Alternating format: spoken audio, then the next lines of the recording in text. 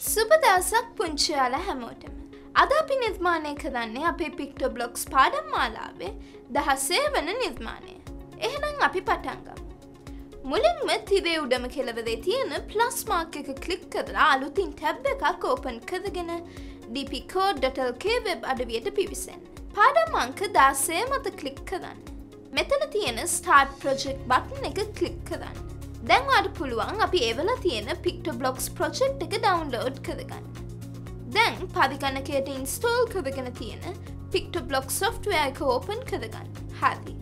දැන් මේ විදිහට පික්ට බ්ලොක්ස් ඉන්ටෆේස් එක ඩිස්පලේ වෙනවා. ඊළඟට මේ විදිහට ෆයිල් ඕපන් කලික් කරලා වාල ඩවන්ලෝඩ් කරගත්තු පික්ට බ්ලොක්ස් ෆයිල් එක ඕපන් කරන්න.